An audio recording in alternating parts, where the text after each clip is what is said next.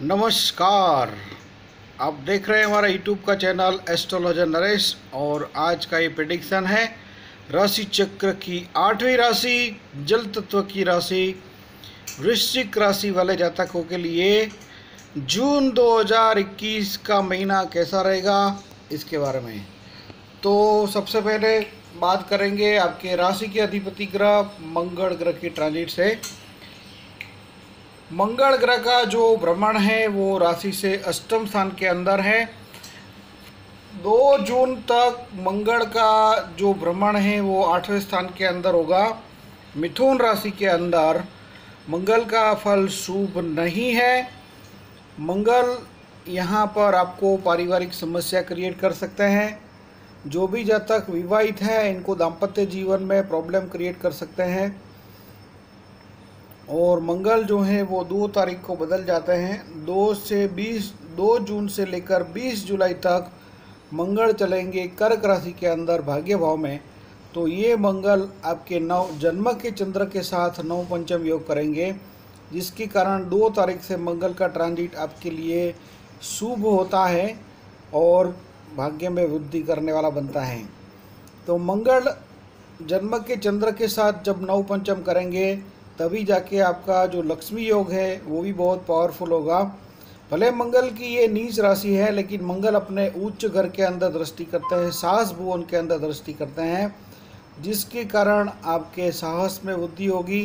Property regarding कुछ भी कार्य करना है, नया मकान, वाहन इत्यादि लेना है तो भी संभव होगा, क्योंकि चौथे स्थान में गुरु के ऊपर मंगल की दृष्टि के कारण यहाँ पर महालक्ष्मी योग क्रिएट होगा, दो जून के बाद।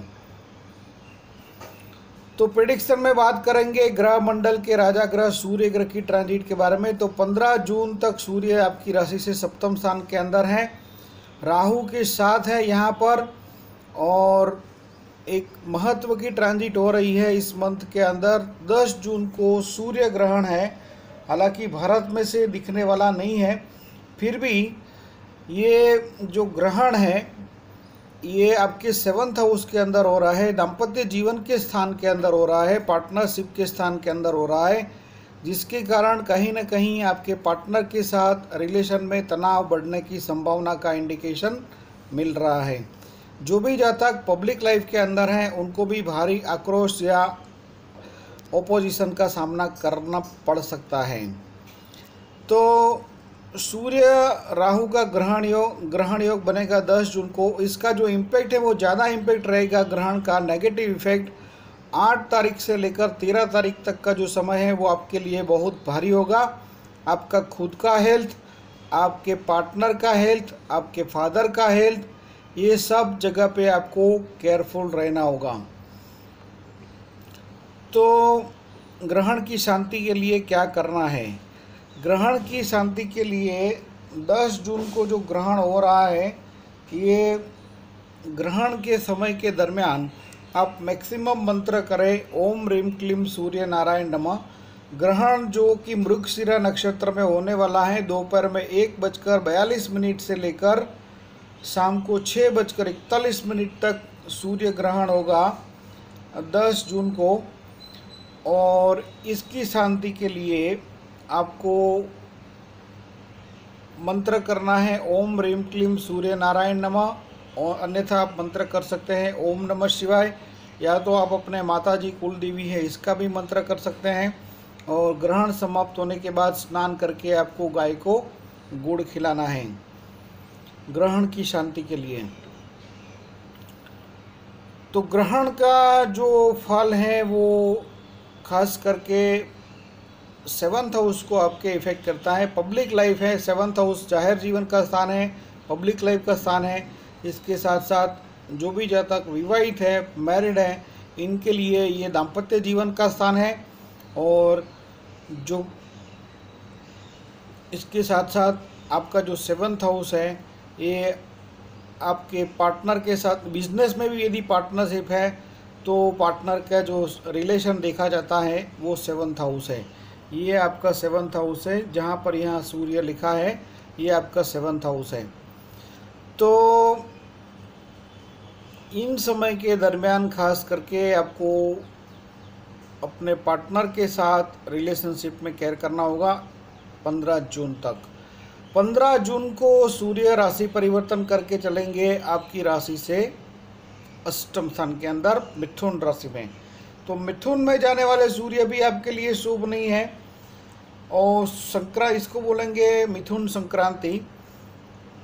सुबह छः बजकर तीन मिनट को सूर्य राशि परिवर्तन करके चलेंगे मिथुन राशि में।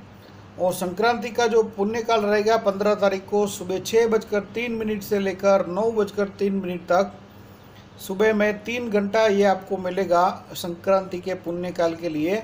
इसमें आपको सूर्य का दर्शन करना है सूर्य नारायण को अर्घ्य देना है, पानी चढ़ाना है, मंत्र करना है, ओम ह्रीम क्लीम सूर्य नारायण नमः, अन्यथा आप मंत्र कर सकते हैं, ओम नमः शिवाय, या तो अपने कुल देवी माता जी का ध्यान कर सकते हैं, और गाय को गुड़ खिलाना है। क्योंकि गुड़ जो है, वो सूर्य और मंगल दोनों का दान है। तो 15 जून से लेकर 15 जुलाई 14 15 जुलाई तक जब तक सूर्य आपके अष्टम स्थान के अंदर होंगे इन समय के दरमियान पारिवारिक समस्या क्रिएट हो सकती है फाइनेंशियल मैटर में डिस्टर्बेंस आप महसूस करेंगे। आँखों का भी आपको केयर करना होगा। आपके फादर का रिलेशन फादर के साथ रिलेशन गवर्नमेंट रिलेटेड मैटर ये सब जगह पे आपको केयर करना होगा। प्रिडिक्शन में बात करेंगे बुध ग्रह के बारे में। तो बुध ग्रह का जो भ्रमण है, वो मिथुन राशि में है और बुध वक्री होकर दो जून को चलेंगे।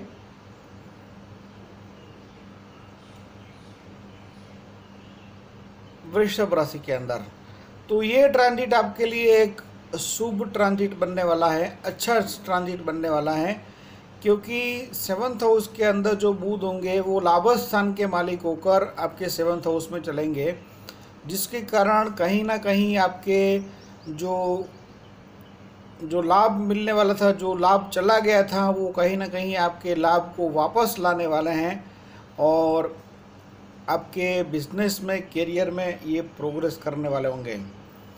तो गुरु का भ्रमण चौथे स्थान के अंदर है। गुरु सुख स्थान के अंदर शुभ फल देने वाले हैं।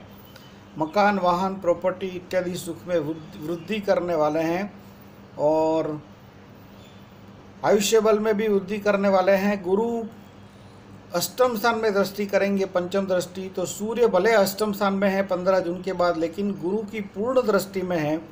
जिसके कारण इस, ये साल के अंदर 2021 के अंदर आपको इतना नेगेटिव इफ़ेक्ट सूर्य का नहीं मिलेगा।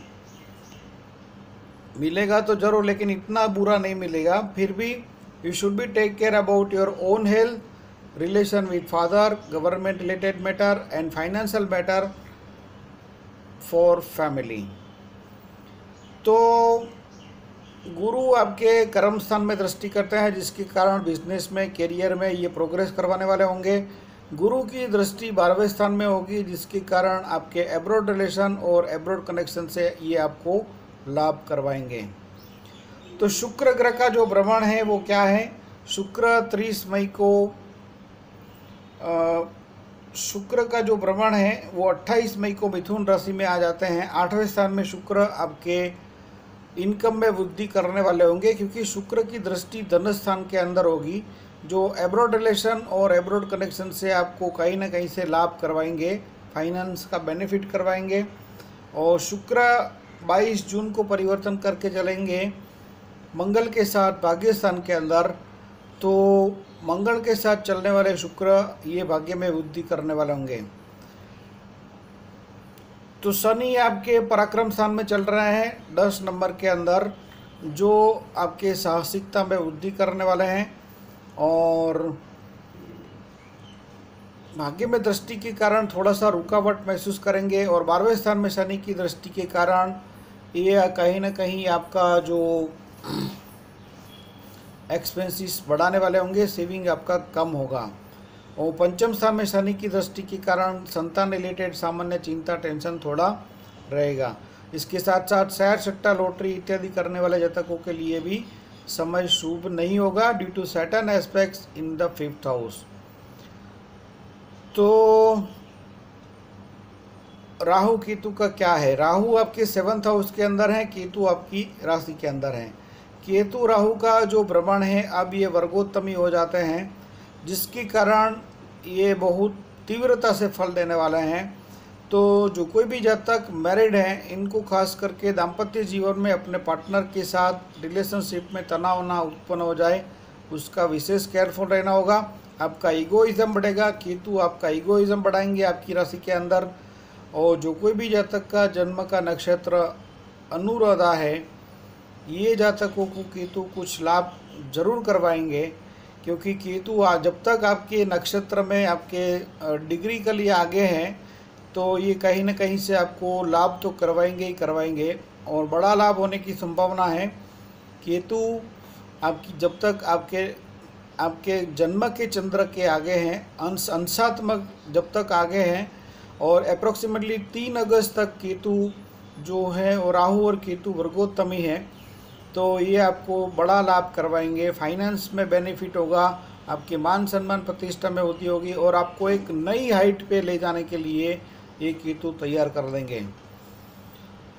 तो कौन कौन से डेट्स आपको जो टेक केयर करना है इस मंथ के अंदर वो इस प्रकार हैं। ग्यारह, बारह, तेरह, जिसमें चंद्र चलेंगे मिथुन राशि में, अष्टम भाव में, जिसमें आपको पारिवारिक मामलों में केयर करना है फाइनेंशियल मैटर में केयर करना है, आँखों का विशेष केयर करना है। वन सेकेंड आपको डेट टेक केयर करना है बीस इक्कीस और बाईस, जिसमें चंद्र चलेंगे तुला राशि में। तुला के चंद्र राशि से बारहवें स्थान के चंद्र बनते हैं। बारहवें चंद्र के अंदर भी आपको लाइफ का कोई भी इम्पोर्टेंट डिसीज़न नहीं लेना चाहिए। और वन सेकेंड आपको डेट टेक केयर करना है, अट्ठाईस, उनतीस और तीस, जिसमें चंद्र चलेंगे चौथे स्थान में। गुरु के साथ होंगे, गज के स्त्री योग होगा। फिर भी टेंशन वाली सिचुएशन में क्योंकि चौथा स्थान में जब जब भी चंद्र जाते हैं तो अननेसेसरी टेंशन वाली सिचुएशन क्रिएट कर देते हैं। तो चौथे स्थान के अंदर, हालाँकि शुक्र के अलावा कोई भी ग्रह शुभ फल नहीं देते हैं, इसके कारण ये चंद्र का भी थोड़ा सा अननेसेसरी टेंशन क्रिएट करवाने वाले होंगे। तो ऐसी सिचुएशन के अंदर, जो वन पहले तो एक, दो, तीन होगा, जो कुंभ राशि में चंद्र होगा, एक, दो, तीन जून, और इसके बाद मंथ एंड में यहाँ पर होंगे अट्ठाईस, उनतीस और तीस। इसमें चंद्र चलेंगे कुंभ राशि में तो इसमें भी आपको लाइफ का कोई भी इम्पोर्टेंट डिसीज़न नहीं लेना है। तो यदि आपके कोई मित्र हैं वृश्चिक राशि वाले तो वीडियो आप उनको ज़रूर शेयर करें। चैनल सब्सक्राइब कर दें, और जिनका भी जन्म हुआ है पंद्रह नवंबर से लेकर चौदह दिसंबर के बीच में जिनके भी जन्म के सूर्य वृश्चिक राशि में हैं, इनको भी ये वीडियो आप ज़रूर शेयर करें, ताकि उनको भी ये प्रडिक्शन और नॉलेज का लाभ मिल सके। यदि आप अपना पर्सनल हॉरोस्कोप रीडिंग करवाना चाहते हैं तो नीचे बताए गए नंबर पर व्हाट्सएप करके आप हॉरोस्कोप कंसल्टेशन के लिए अपॉइंटमेंट ले सकते हैं। Good luck all the best dear friend